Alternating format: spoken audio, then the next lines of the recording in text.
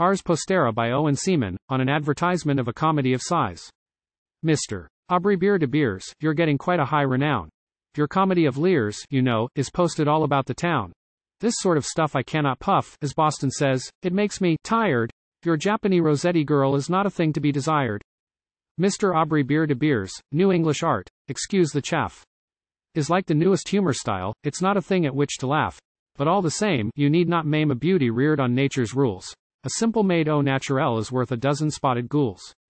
Mr. Aubrey Beer de Beers, you put strange phantoms on our walls, if not so daring as today's, nor quite so hardy as St. Paul's. Her sidelong eyes, her giddy guise, grande dame sans merci she may be. But there is that about her throat which I myself don't care to see. Mr. Aubrey Beer de Beers, the Philistines across the way, they say her lips, well, never.